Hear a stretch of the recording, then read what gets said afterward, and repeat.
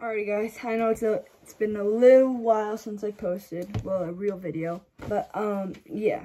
So today I'll be talking about what I think about the Trevor Bauer update. So let's get started. What I think about it, what I thought about about the Trevor Bauer update was I think MLB is being a little too um little too like dumb. I know I know he I know he what happened and I really can't talk about it that much on YouTube, but um uh I think they're being a little too harsh on him. I know like Marcell Ozuna did it, Julio Urias, uh who else? I think Aroldis Chapman and other and other other other good players. Um but I think um they just really I think that MLB just did it too, just did too much. Really, two full seasons of not playing. He could be back in 2025.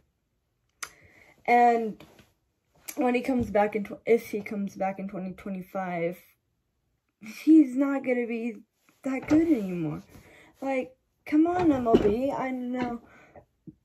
I know it's not the right thing to do, but you guys at least should have suspended, well, not you guys still should have, like, maybe, I don't know. But it, for sure, it wasn't the right thing to suspend him for two full seasons. They didn't do that with um, Ozuna, so why would they do it with Bauer? Like, come on, guys. Like, I already know it happened with Julio Urias, but, like, I don't know. It just gets me mad. Like, baseball is just I, I, I don't know what to say because if I say something bad, like very bad, then YouTube's gonna take this down.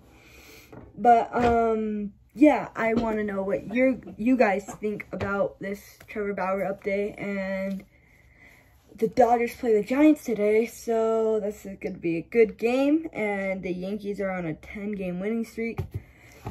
And basically, that's about it. So, this is my update, Trevor Bauer, what I think about it video. Alright, this is Noah Talk. See you soon. I'm out, guys. Peace.